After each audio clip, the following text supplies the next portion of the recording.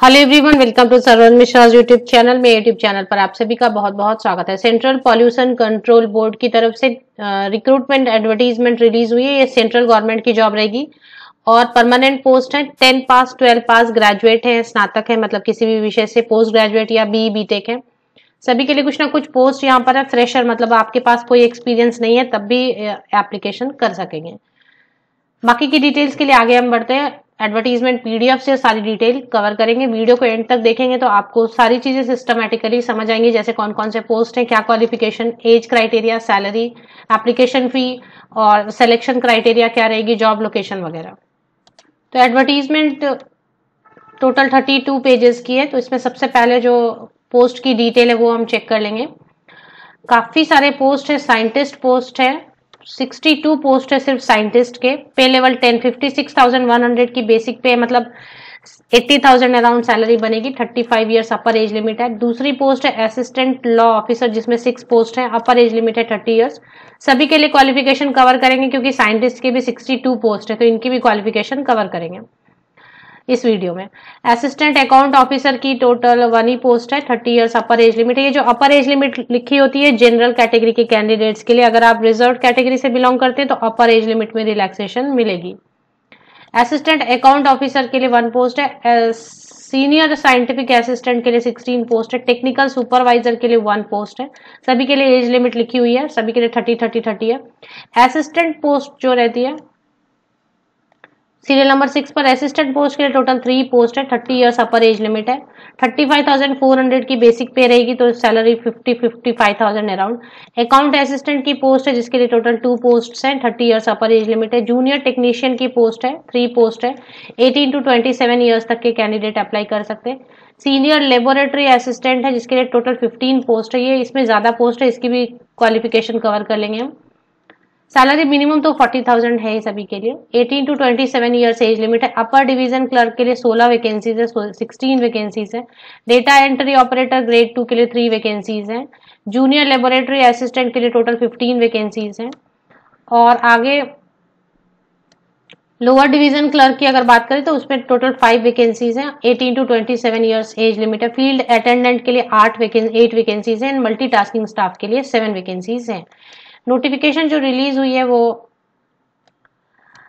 Central pollution control board की तरफ़ से ministry of environment forest and climate change मतलब मतलब ये भारत सरकार की जॉब रहेगी, क्योंकि ये मिनिस्ट्री के अंतर्गत आती है environment forest and climate change के government of India GO I mean government of India इसके अंतर्गत ये बोर्ड चलाया जा रहा है ऑर्गेनाइजेशन तो प्योरली जो है गवर्नमेंट जॉब होगी।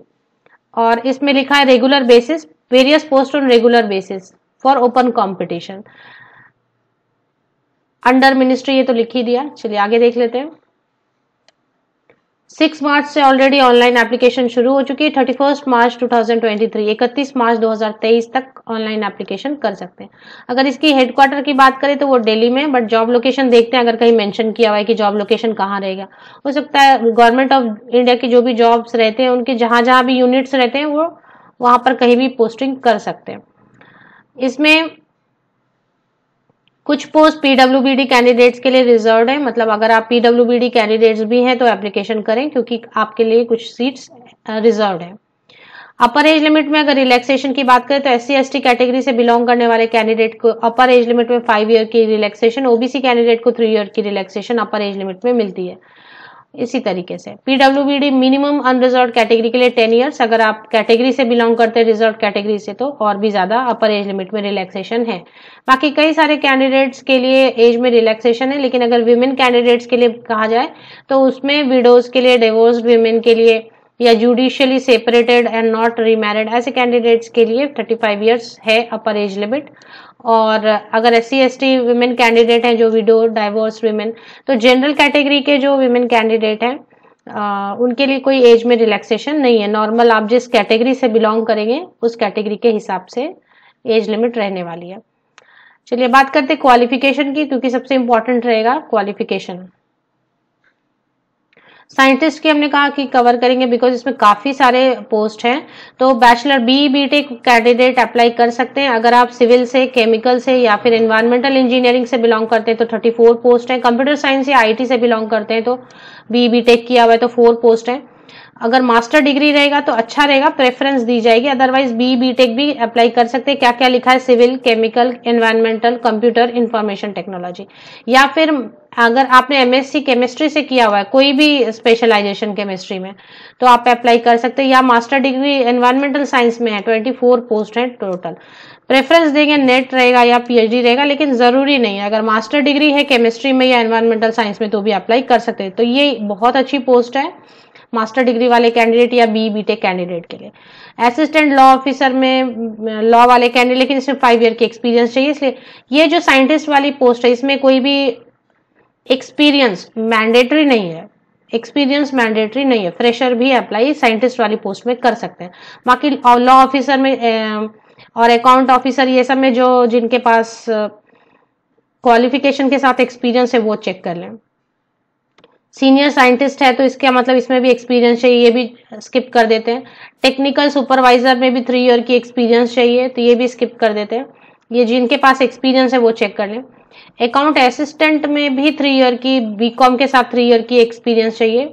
जूनियर टेक्नीशियन में diploma in electronic one year experience चाहिए। Junior technician diploma in electronic one year experience senior laboratory में ट्वेल्थ स्टैंडर्ड पास होना चाहिए।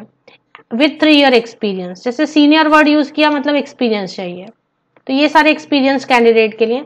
अपर डिवीज़न क्लर्क में आप अप्लाई कर सकते हैं फ्रेशर भी अप्लाई कर सकते हैं। अपर डिवीज़न क्लर्क में डिग्री होना चाहिए मतलब ग्रेजुएट होना चाहिए टाइपिंग स्पीड इंग्लिश या फिर हिंदी में होनी चाहिए।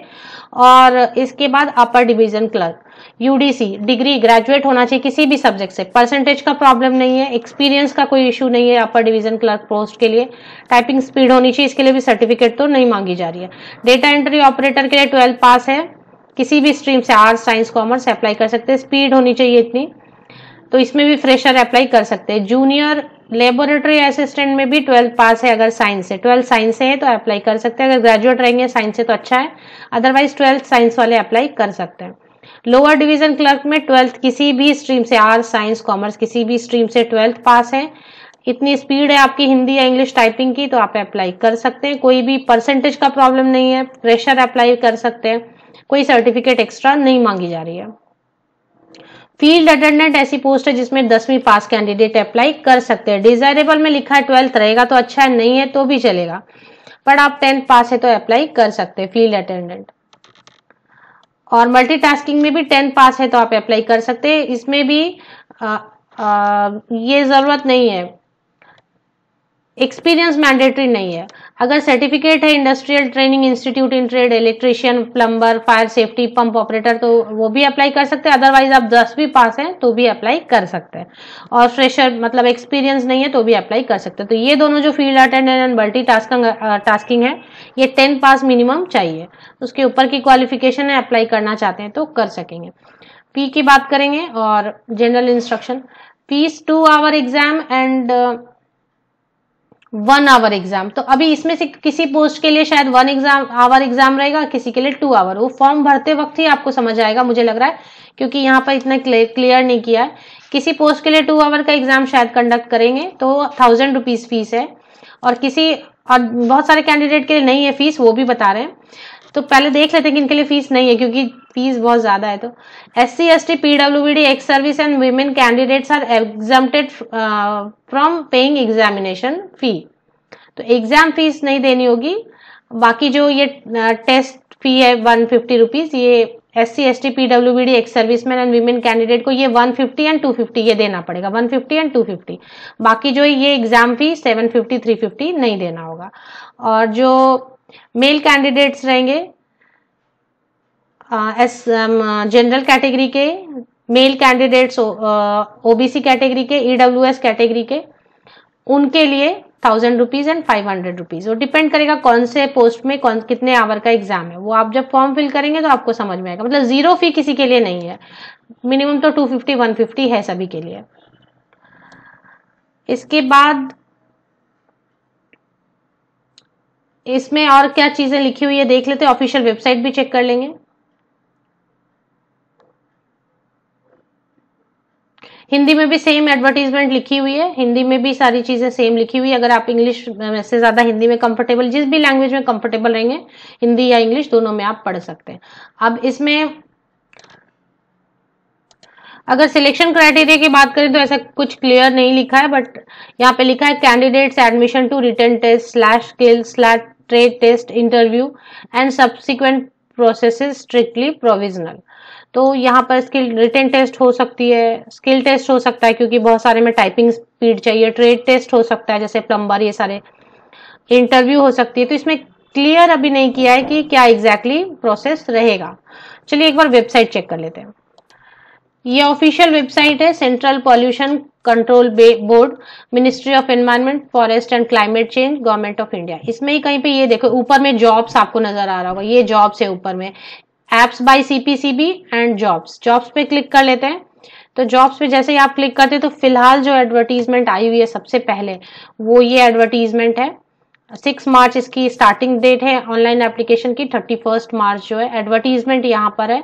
और एप्लीकेशन फॉर्म यहाँ पर आ, कुछ है तो ये चेक कर लें डायरेक्ट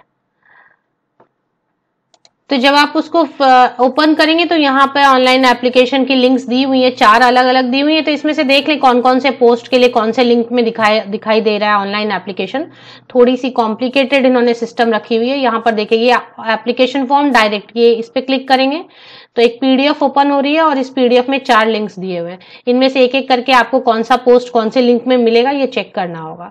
फिर ये लिंक जो है गूगल क्रोम पे या मोजाइला फायरफॉक्स पे या किसी वेब ब्राउज़र में जाके कॉपी पेस्ट करके लिंक को ओपन करें। देखें आप जिस पोस्ट के लिए अप्लाई करना चाह रहे हैं, वो किस लिंक में अवेलेबल है।